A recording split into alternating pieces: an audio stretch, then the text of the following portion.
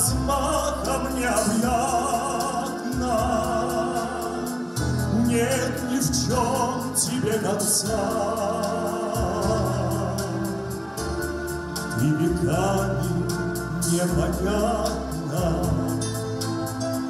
чужеземным мудреца. 93-ю годовщину образования Московской области отпраздновали в Монино. Центральный музей ВВС приехали представители военных частей, расположенных на Щелковской земле, ветераны вооруженных сил, юноармейцы, сотрудники администрации городского округа Щелково. Они приняли участие в круглом столе под названием «Военно-воздушные силы на страже неба Подмосковья». Выступавшие в своих докладах рассказали о развитии промышленности на территории муниципалитета, о славной истории Монинского и Чкаловского военных гарнизонов. 929 ГЛИЦ – это кузница авиационных кадров, это гордость, это элита наших военно-воздушных сил и воздушно-космических сил. Ну и, соответственно, та же наша восьмая дивизия, которая базируется на Чкаловской, это тоже, так сказать, самая э, лучшее, одно из лучших соединений в наших ВКС.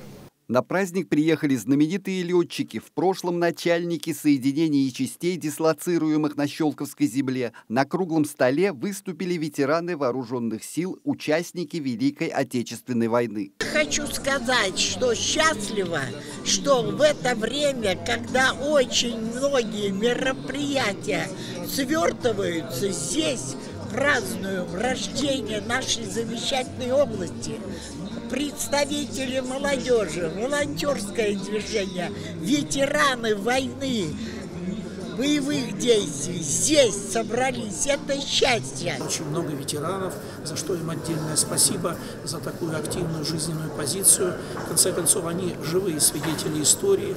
Именно с их помощью, именно их трудом формировалось, создавалось, э, происходило становление Московской области. Музей приурочил к празднику открытие уникальной и единственной в мире выставки «Воздушные винты». На ней представлены порядка 39 винтов для различных типов самолетов. В прошлом году прошло открытие первого зала выставки, а теперь и второго. В нашей галерее выставлено 39 воздушных винтов. Из них, значит, 13 металлических. Остальные воздушные винты деревянные.